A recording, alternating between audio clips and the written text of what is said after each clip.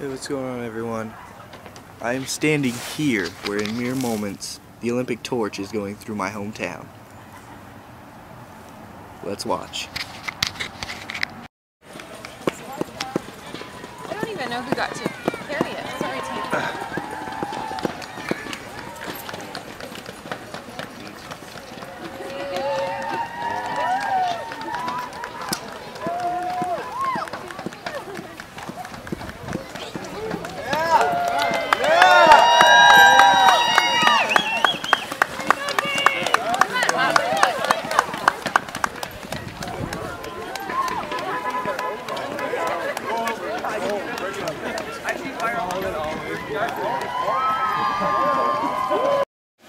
Fantastic.